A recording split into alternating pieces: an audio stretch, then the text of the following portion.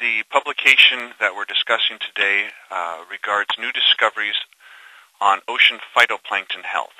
And these were made possible by the MODIS sensor on the Aqua satellite. All right, there's three primary results from the study. Uh, the first, the first result is that uh, in analyzing the satellite data, we found a hidden signal in the fluorescence um, uh, data set. What we found is that areas of the ocean that have low iron levels also have high fluorescence levels.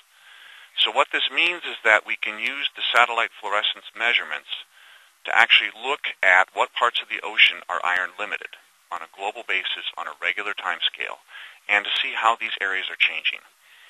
And what this means is it, it, means that we have a new tool, um, a tool that helps us understand how ocean ecosystems function as well as how they respond to change.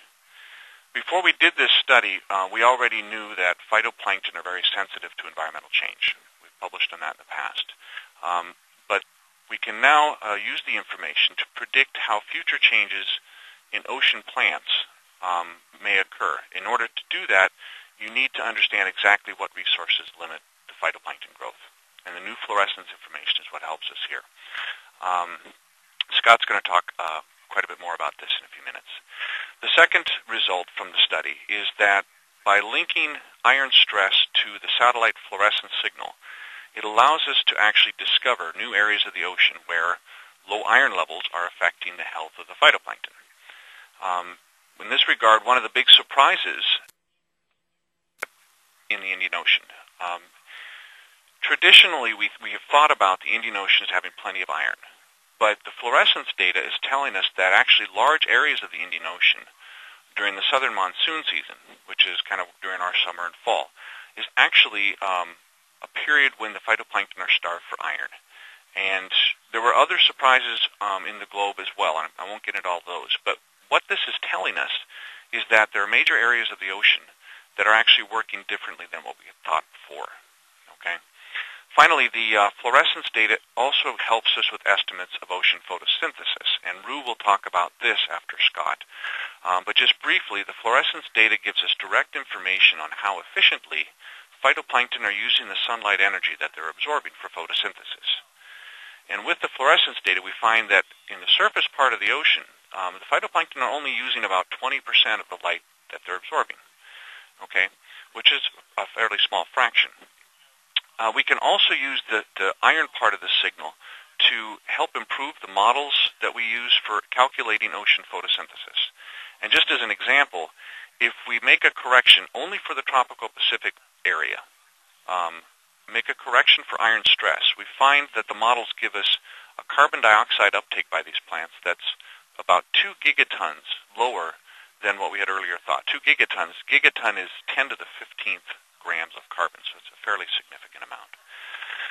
Okay, so now let me, those are the, the primary findings. Let me give you a little background information. Um, fluorescence in, from plants is red light that the plants are giving off.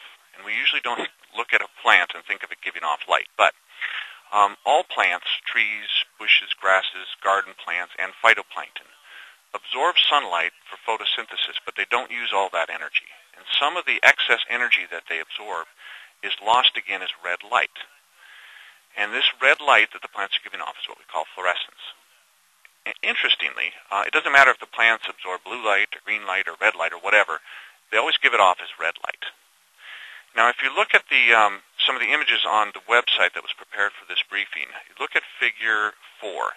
There's a beautiful picture there of actual fluorescence coming from phytoplankton. This is this picture was uh, provided by Maria Vernet at Scripps Institute of Oceanography. It's a really pretty picture, but you can see the red glow from these chains or strings of phytoplankton. Okay, and that's the signal we're seeing from space. Now, one of the tricks about this is that that signal is very faint. It's a small signal compared to all the light that's coming out of the ocean. But the MODIS sensor unlike previous sensors, has special bands to detect that little signal. In the past, the satellite sensors have largely been engineered to give us information about how much phytoplankton there is in the ocean and where those phytoplankton are. But what was very cool about the MODIS sensor is that it was designed to give us information both on how much phytoplankton is there and information upon about the health of those phytoplankton. And this idea of getting health was linked to the idea that fluorescence given off by the phytoplankton changes as they become more stressed. In particular stresses, they give off more fluorescence. Um, we also put on the website video number one, uh, if you want to look at that, uh, an actual uh, video of a full year of the actual fluorescence, raw fluorescence data that we're getting from the MODIS sensor. And in this video, you'll see the green areas and the yellow areas. That represents high fluorescence, and the blues and the purple are where there's low fluorescence. And the patterns that you're seeing on the globe are reflecting how much phytoplankton is in the water, because that's the first thing that dominates the signal. More phytoplankton means more fluorescence. The information on the health of the phytoplankton is hidden in that signal, and the way you get it is you take that fluorescent signal you're looking at and you divide it by the total amount of light that the cells are absorbing. And this is called the fluorescence yield. And there's a video of the fluorescence yield as well. This is the first time anyone's looked at the fluorescence yield globally in a video, and that's video number two. Pretty cool stuff. So what that's showing you is a full year of fluorescence yields for 2004, and the areas that are red are the areas that are lit up with fluorescence. So they're, they're the high fluorescence yields, and these areas correspond to iron stress.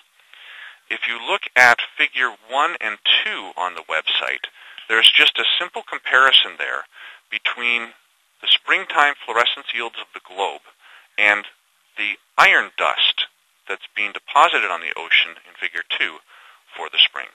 Okay, and what you see is that the red fluorescence yields, the high yields, correspond to areas that have low iron dust.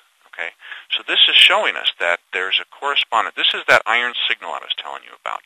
Okay, and as I mentioned before, we usually didn't think about the Indian Ocean as having iron stress, but during the south monsoon, the fluorescence data is clearly showing us that something's going on there, that, that there's probably very high uh, iron stress in that area during that time.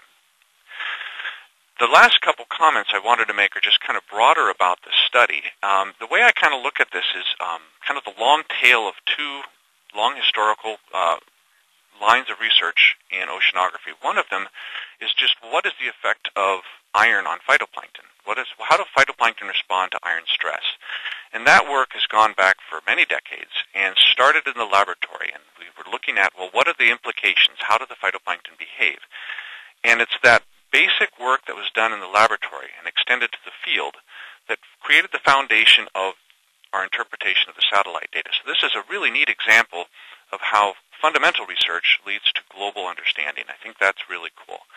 And then the final uh, comment is that the uh, fluorescence, satellite fluorescence data also seems to be kind of a, a long tail for another line of research, and that's the idea that phytoplankton in the ocean might actually be limited by a micronutrient. Um, a long time ago, we never thought that was possible. But the first clear indications that iron is important out there were done um, in bottles. You know, these bottles are 200 mils or a liter. They're very small. And from those initial experiments, the concept grew to these enrichment experiments that, that got a lot of press where they added iron to the surface of the ocean, looked at the response. Those were on the order of square kilometers. After those, some new techniques came up that allowed us to look at thousands of kilometers of iron stress in the ocean. But the actual first time we were able to see this on the global scale is with the fluorescence data from satellites.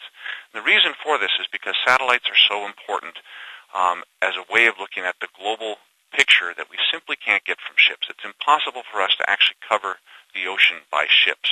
There are parts of the ocean that we're seeing with the satellite fluorescence that are rarely, if ever, visited by research ships. So this is one of the reasons this is an exciting result. It gives us a real big picture.